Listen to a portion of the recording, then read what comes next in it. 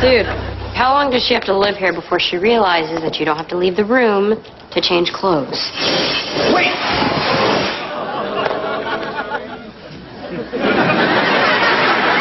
What are you supposed to be? What kind of what kind of villain is that? I'm an evil queen. There are no evil queens in Jim Bob's world. There's always an evil queen. Sometimes she's the head cheerleader, sometimes she's the fairy tale stepmother, and sometimes she's your sister. Wizards of Waverly Place, a starring role in one of this summer's biggest movies, a red-hot music career and a fashion line. Our next guest is a one-woman empire who only turns 18 tomorrow. Please welcome Selena Gomez.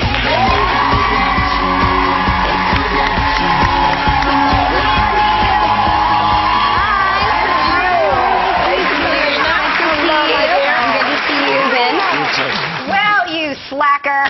You don't have a lot going on, do you? I couldn't believe that list. You have so much going on. Thank you. Let's start right at the top. Um, we know you from Disney's Wiz- Wizards of Waverly Place, but rumor has it that you are not going to be there next season. Is this your last Oh season? no! Oh well, yes. This I, we don't really know about the future of the show. Okay. We're we're doing a fourth season and a movie. Okay. So we'll Okay. be there for a while, but um, we just we're not sure about the next future for that. Okay, so eventually you are planning to not be there at some point. Right. Though to I don't like saying that. Makes me sad. Yeah, it makes a fan sad too.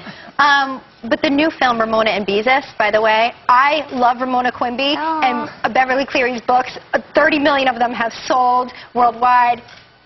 Huge fan base there. Can you tell us about your character, what the movie's going to be about? Yes, um, I play Beezus in the books by Beverly Cleary, and they've been around for 50 years, and she did not want to do a movie with these books. She was so really like gun ho on not doing it. Why? So Why not? I, I don't know. I guess she was really nervous, and I mean it is a big deal, and I was petrified whenever they were going to do it, and she approved it. But she was so sweet, and she loved it, and that's. Everybody at the studio just went, oh, thank goodness, because everyone was watching her watch the movie, and Yeah. she loved it. So she Was she on set while you all were? uh, no, she wasn't on set. She's 93 years old, so she um, she did make a little cameo in the movie, though. Oh, that's nice. I'm going to show everyone if we can a clip. So yeah, check of course. this Go out. ahead. Hey, Beezus. Hi. Selling lemonade? oh yeah, just helping out my little sister. And hello, delicious lemonade, anyone? Yeah, I'll have one. You will? Yeah. Well, that'll be one dollar, please. Exact change, pervert. Uh, Ramona, Henry doesn't have to pay. Here. Beezus! Thank you. Beezus! Shh! Beezus! I won't take...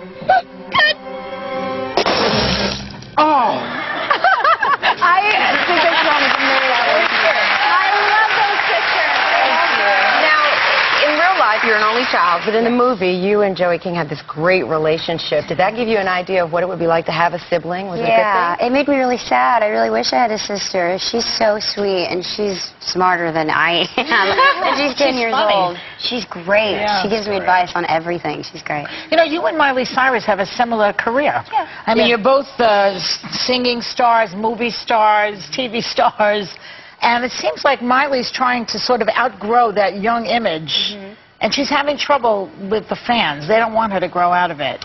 Well, I think that everybody envisions their career a different way, and I think that they kind of eventually there's a point where you want to live for yourself and be yourself. So, if anything, it's all about what you want to do in your career. And I'm eight, about to be 18, but I still feel like I'm 15 and 16. So, I'm I'm not really comfortable doing anything that I wouldn't feel right doing. So the transition will not be that hard for you because you'll be comfortable with what you're doing? Yeah, Probably. I mean, I would love to continue to have my fan base. I mean, they've been with me for four years. They mean the world to me. So. Yeah, you want to keep them. And your birthday is tomorrow, right? Yeah. Aw, Isn't that happy weird? birthday. I'm having a barbecue.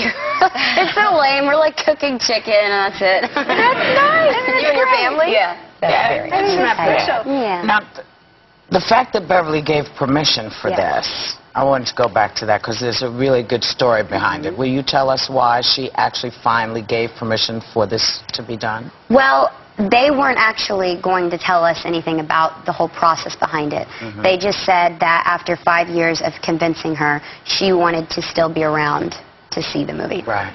So it was a very, very big thing once they told the cast that because I was petrified because, you know, this is an honor to be a part of it.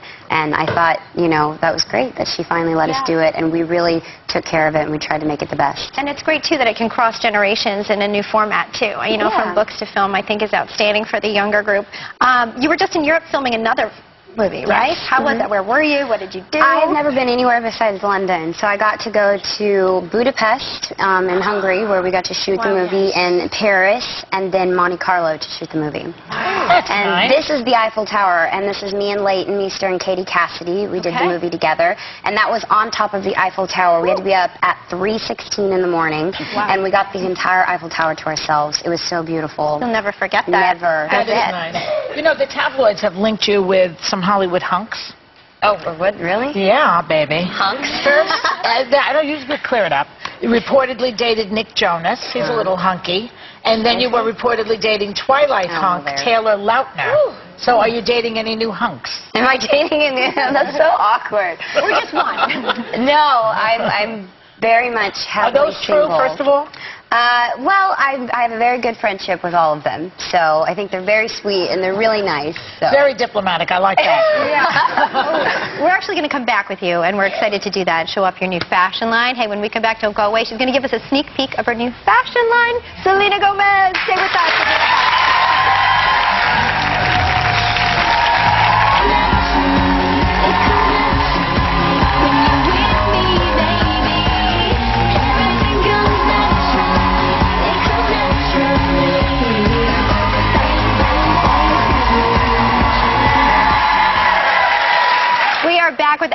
Singer Selena Gomez, who just added fashion designer to her resume. So tell us about this line, what it's called, how it came Um, about. My line is called Dream Out Loud. It's ex- sold exclusively at Kmart, and it's really fun and affordable, and it's kind of like my style. Great, and you brought us some looks to show us. And the first one, why don't you bring her out and then tell us all about the pieces in it? This is my first look.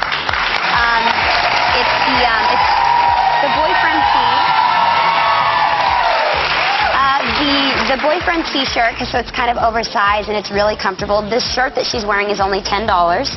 The floral Really? scarf, yeah, Ten dollars. ten dollars, and that comes in all different colors. The scarf is eight dollars, and the skinny jeans she's wearing is twenty dollars. And then she's got the schoolboy hat on that's eight dollars, and her flats are nineteen ninety nine. Oh my gosh, very Adorable. Now, what about your next look? You say it involves a mini skirt, I hear. Yes. This next look, uh, she's got the printed long sleeve Henley on.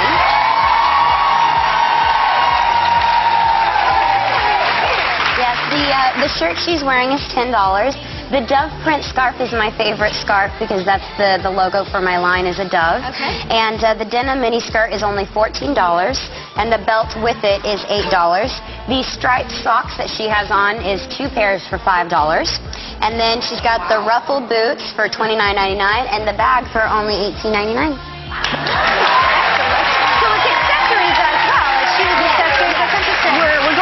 jewelry, but right now it's just accessories. Yeah, that's really great for you. Now, this next look is a good one for fall, you say, correct? This is um, this is more of a fall look. I love that hat.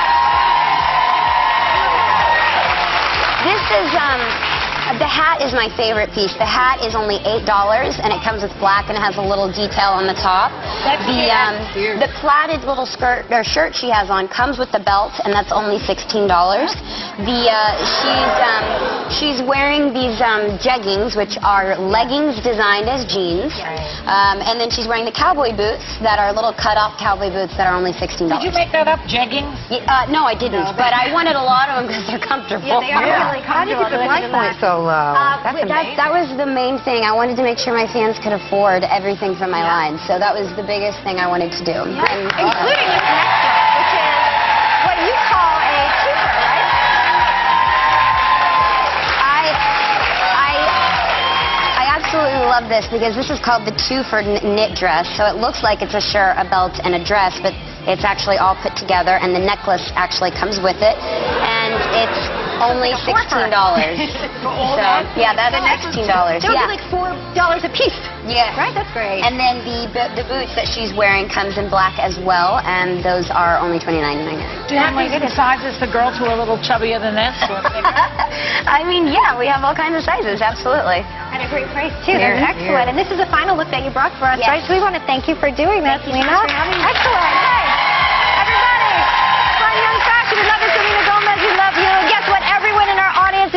with a tunic and a pair of leggings from Selena's Fashion Line.